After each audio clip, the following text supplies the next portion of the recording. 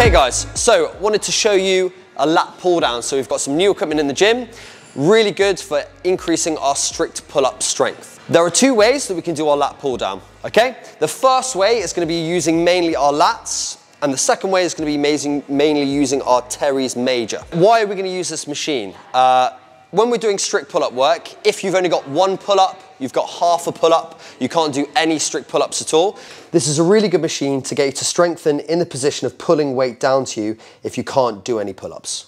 A lot of the time people are using bands to assist in getting themselves up, okay? That's really good for certain parts of our pull-up. When we're, our chin is over the bar, that's, we're really, really strong in that position using a band. But at the bottom, the band is doing all the work. In the lat pull down, at the bottom, we're using the same amount of force as we are at the top, okay? So it's a really good way of increasing weight slowly to get ourselves really strong in the pull, okay? So the first way that we're gonna do that is using our lats. We wanna make sure that we are fully extended to stretch out our lats before coming into a flex position. In that bottom position, we want to arch our back slightly to create as much lat engagement as possible. Our grip position stays the same. What we're trying to do is recreate our grip for our pull-ups.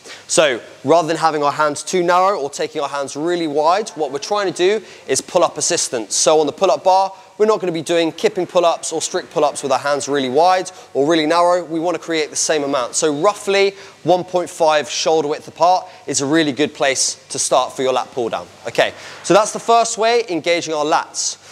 The second way is keeping a hollow position so our core is really tight and we're going to be pulling down in front of ourselves, okay?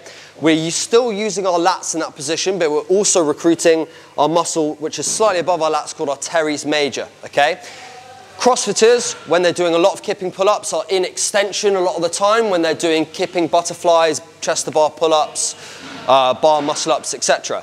We want to make sure that we're strengthening ourselves in that hollow position as well as being in that extended position. So if you struggle to do strict chest to bar pull-ups, this could be a really good way of you getting those extra couple of reps. Again, we're making sure that our lats are fully stretched, but this time my rib cage is tucked down so I'm in that nice hollow position, making sure my core is braced. And then you're gonna bring your elbows out slightly in front of you and pull as far down as you can towards your chest or your sternum. For both types of pull downs, there are a couple of mistakes that people make. The first of which is going too heavy, okay?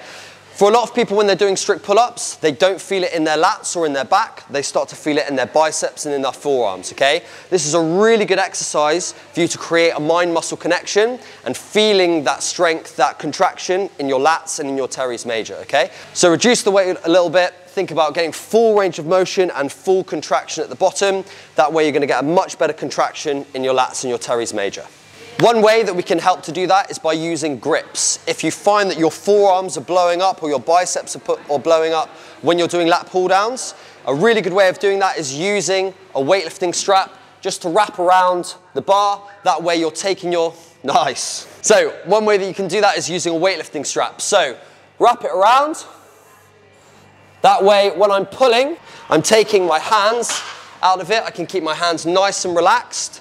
And then from there, I'm pulling down with my elbows rather than pulling with my hands, which is gonna help us use our lats and our teres major a lot more.